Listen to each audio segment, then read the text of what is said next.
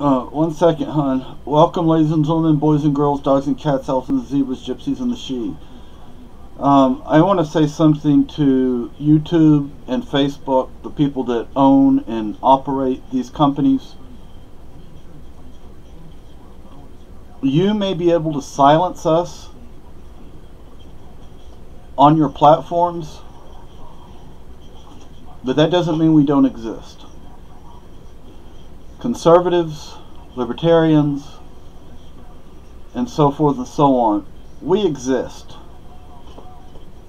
There are obviously more of us than you, but you're the ones who own and operate YouTube, Facebook, Google, etc.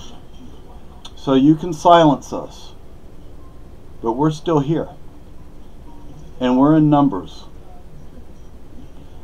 We don't try to silence you, you try to silence us.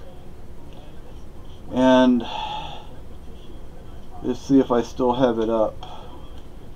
I don't think I still have it up, but uh, actually I can get it up really fast. Um, I will read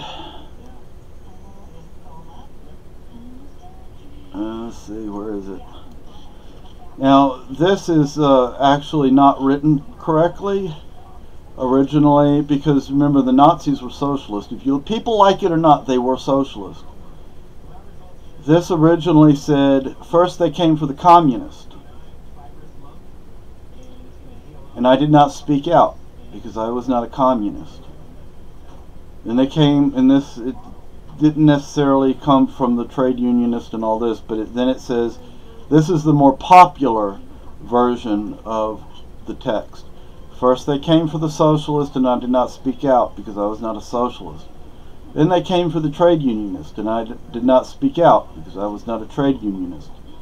Then they came for the Jews, and I did not speak out because I was not a Jew. Then they came for me, and there was no one left to speak for me.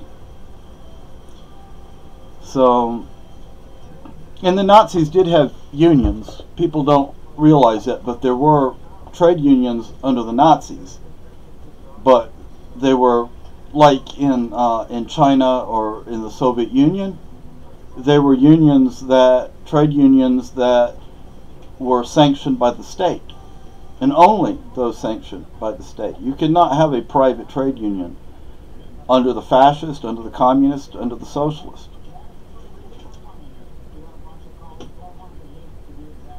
And you're not going to silence us. We're not going to be silent. Uh, New York State is trying to silence NRA members, and I do not support the NRA. I, I oppose the NRA.